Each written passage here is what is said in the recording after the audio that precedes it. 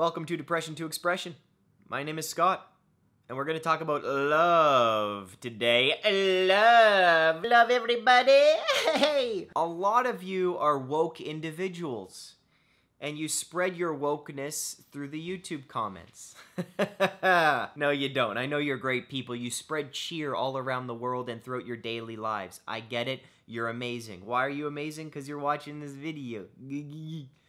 But I want to talk about something I saw yesterday. It was just a guy walking down the street. He was at a protest that I, I walked by, and his t shirt said, Love everyone.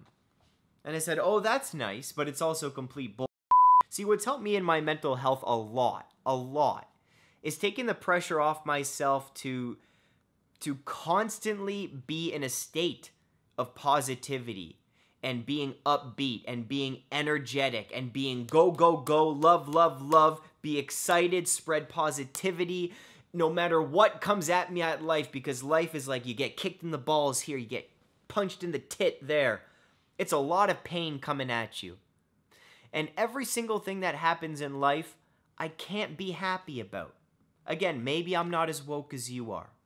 But what's helped me a lot in mental health is to say that life does suck and I can't love everyone. There are people that I don't associate with, and I know that there's pure evil in the world. It's a lot of pressure. It's like taking the role of God, if you believe in that sort of thing. But let's just say the image of God is basically to love unconditionally, no matter what. And as imperfect human beings, that's very, very difficult to do. I don't know if a lot of you would sacrifice your own life for Barabbas. You know what I mean? Jesus quote. But I think to to to really put that pressure on ourselves and to say love everyone that that takes its toll. I think it does. And I don't think you should feel like you need to do that. Actually, I'll just go back to myself. I feel like I don't need to do that. I can make a difference in my small community. I can spread some positivity, some new ideas through this medium, medium.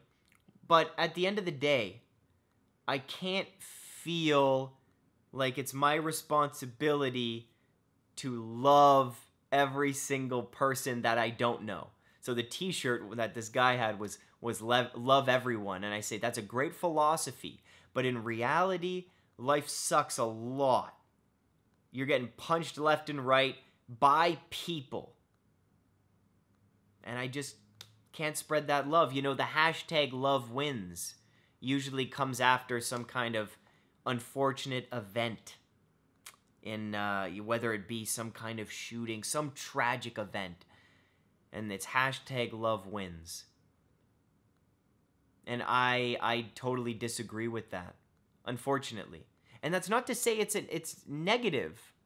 I'm not going out there spreading negativity or that love sucks or like remember the Adam Sandler song? Love stinks. Yeah, yeah. From the wedding singer. No, I'm not saying that. I'm saying I think what really wins is hard work, determination, integrity, having strong habits.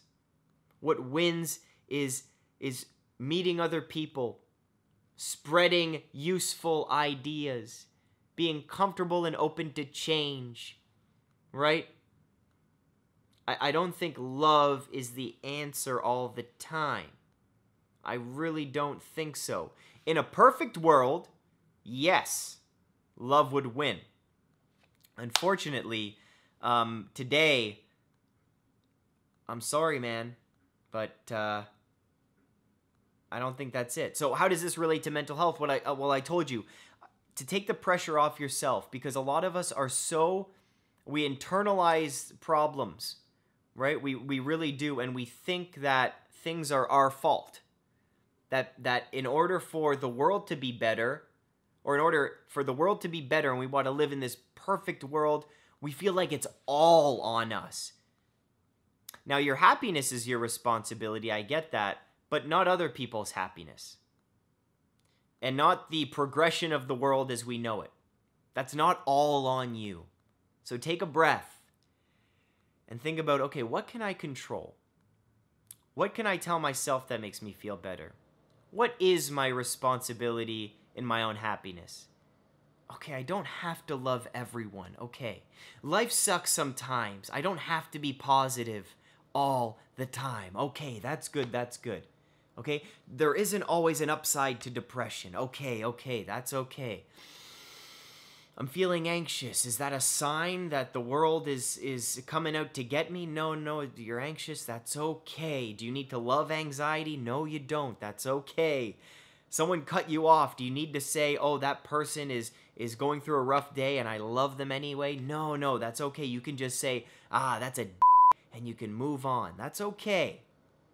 We don't need to play the role of God. I'm sure not. And what's helped me a lot in my mental health and journey is to control as much as I can and do a better job of, of letting go. If you want to join our online community on Patreon for five easy dollars a month to talk more about this stuff and join our live streams and uh, and have some fun and meet people from all over the world, well, the link's in the description if you want to try it out. And we have a great Discord group and we just have that chat going 24 7. I like talking about this stuff. I hope you like listening and I hope you like talking about it too. So let me know does love win in the comments? Does love always win? What do you think? Look forward to hearing from you. See you on Discord and Patreon. Stay strong, keep being you,